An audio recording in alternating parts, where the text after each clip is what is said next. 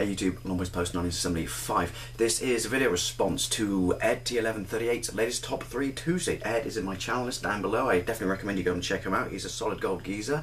And this week's question is asked by GameMan Dan. He says, what are the best three looking consoles in your collection?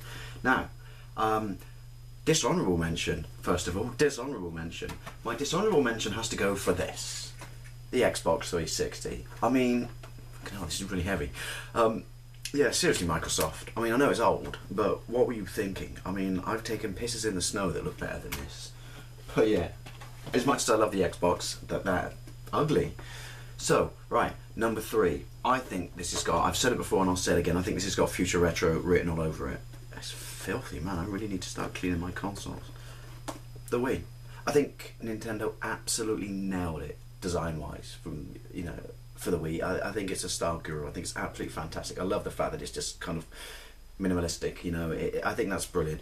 It, it, doesn't, you know, boast or try and be something it's not. It just says what it is. I'm the Wii. I'm compact. I'm small. I do what I say I do on the tin. I think it's brilliant. I really, really do like the design. The fact that you can do it like that or like that, which I guess to a degree you can do with the Xbox. Actually, no, you're supposed to put them flat, aren't you? Otherwise they toast or red ring. Which is another great thing about this drifting away from the question, the fact that it's so bulletproof. So number three for me is definitely got to be the Wii. I, th I, think this is just an absolutely fantastic design. I mean the white of it as well, you know. Alright, the Dreamcast was white, but you know what, I don't know, it's, it's almost like kind of Apple-esque, if that makes sense. So yeah, number three for me, it's got to be the Wii. Alright, I know it's a new console, but I think it's absolutely new. Oh, it's not new anymore, is it? I think it's absolutely fantastic. Number two, um, I know tons of people are going to put this in. Number two for me, it's got to be my Jap Mega Drive. And I'm call me snobbist, call me elitist. Uh, I'm going to say I think the Japanese Mega Drive is the best looking of the bunch. I think it's better than a PAL Mega Drive. I think it's better looking than the Genesis. You got the big fat proper 16-bit sign. You know, you got the blue switch.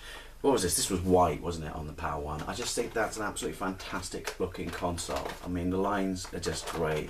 It's just, they just nailed it, you know.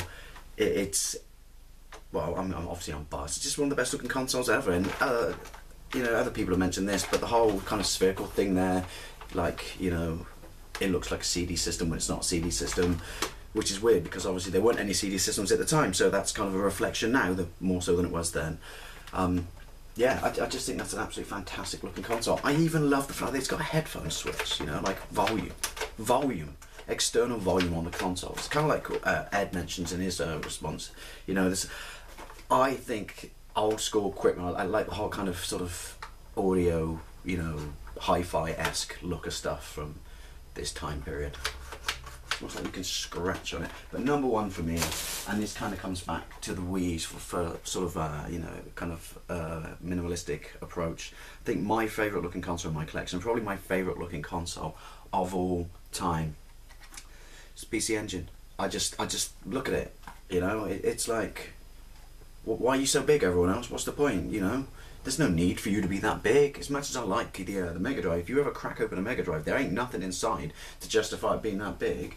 But yeah, I, I just think that that's absolutely stunning console. Again, white, you know.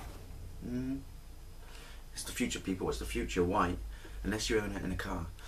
Um, yeah, I just, I don't know. It's just something about it. It's just this five inches by five inches. I just think it's brilliant. I like the fact that it's just small, it's compact, it's very, very simple.